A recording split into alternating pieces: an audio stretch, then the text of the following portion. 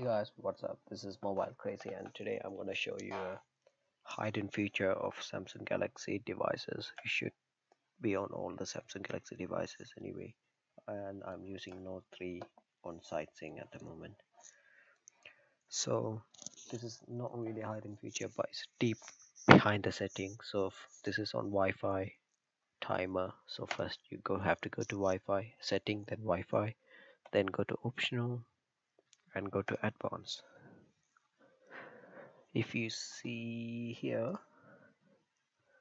you can set timer when to start and when to finish. So the Wi-Fi will connect wherever then it will finish whenever you want. In this way it will save battery. For example let's say start at 8 24 done and 8 25 done. So let's wait for it to turn to 825 hopefully it will disable it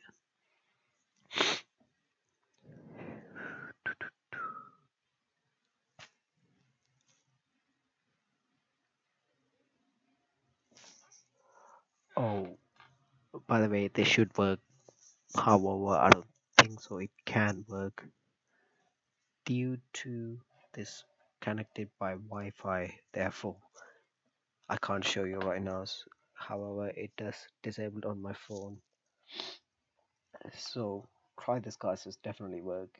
Make sure you like and subscribe my channel for more videos and see you with the end of the video